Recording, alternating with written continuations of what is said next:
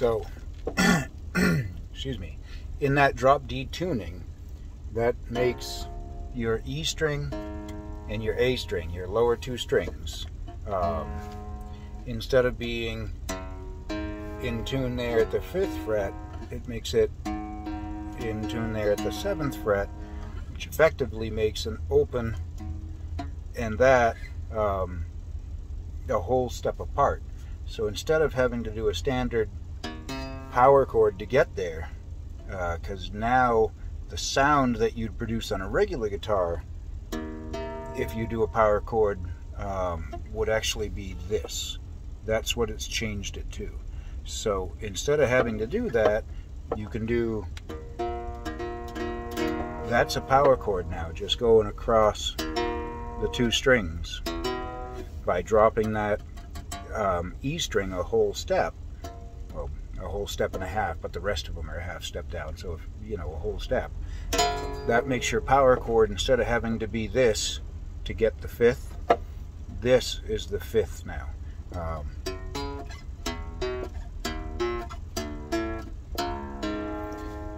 So, anyhow, with that being said, that this is your power chord now, the opening is going to be um, third fret. I don't know what the hell it ends up being. It's a step and a half down, so that makes it a what?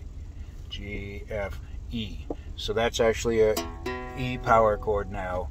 And then you're throwing in this note, which generally would be a G. Um, So if you can just those three strings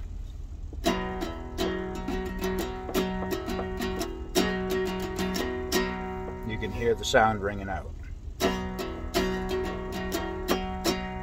Then it goes to a D chord would typically be right one or pardon me we'll do it as uh, second fret third fret second fret you're just skipping that high E string. You're not playing that at all.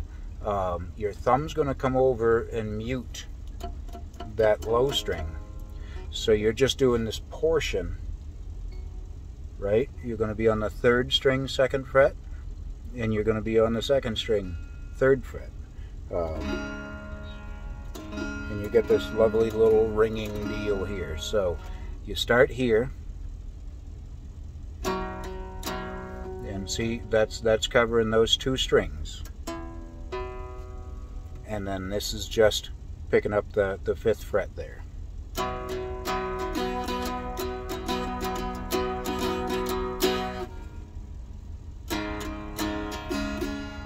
and I for whatever reason find it easy to grab it with my pinky. That way most of the song I'm using my pointy and my pinky. You can grab it any way you want to whatever gets you where you're going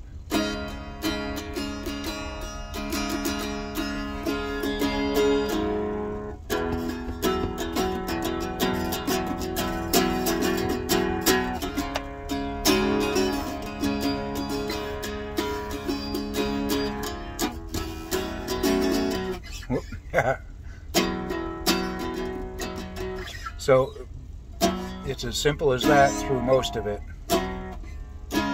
Um, I'm still working out exactly how they do it because they actually don't do a great job of showing it. Um, but the next chords are going to be a power chord uh, at the eighth fret, and I can't tell whether they include this or not. I'm kind of looking to find out.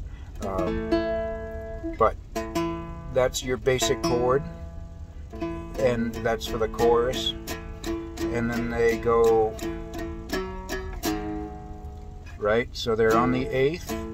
They throw in a change up to the tenth and then down to the seventh.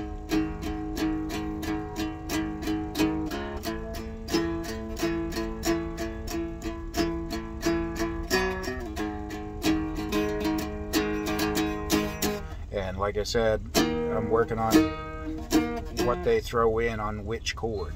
Um, then it ends up dropping down to uh, um, what are they? Something in the F area or first fret.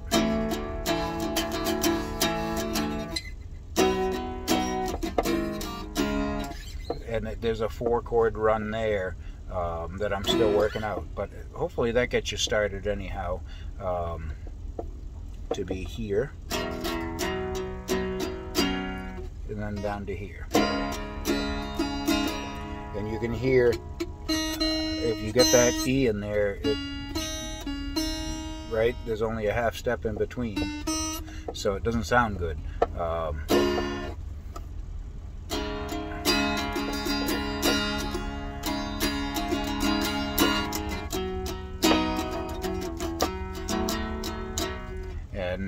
that, again, I'm, you can hear me climbing around in here trying to get my guitar in position so I can play. Um, but you want to quiet everything else in this. You, you really only want and sometimes it sounds like they they diddle between your two thickest strings and then strum. But that's where you're at. Then goes, which we've heard that a, a hundred songs. Um, I'll get you more.